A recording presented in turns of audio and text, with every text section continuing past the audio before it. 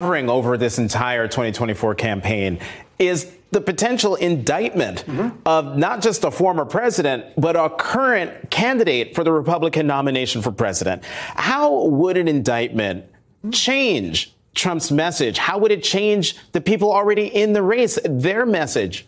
If you think Donald Trump talks about himself all the time, it would be amplified if he was indicted because everything's about him. But there's this kind of mythology out there. If Trump is charged, it makes him a stronger candidate. Maybe in the GOP, but not a general election. I can tell you why. First of all, if he's charged, he gets arraigned. So articles from then on go Donald Trump, who's out on bail, is campaigning today in New Hampshire.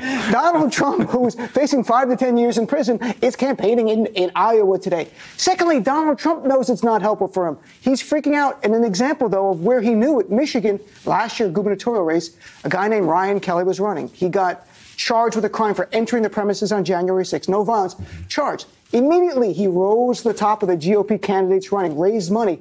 Did Donald Trump endorse him? No. He endorsed Tudor Dixon, and the GOP rallied around another candidate because they knew the guy under indictment couldn't win, and the guy came in fourth out of five candidates. So Trump better known, but even Donald Trump knows an indictment is an albatross around your neck. You're going to lose with it, and he's going to lose money, people. Some of the big Republican donors, they're really investors. They're not donors. Mm-hmm. Are they going to invest in a guy under indictment? I don't think so.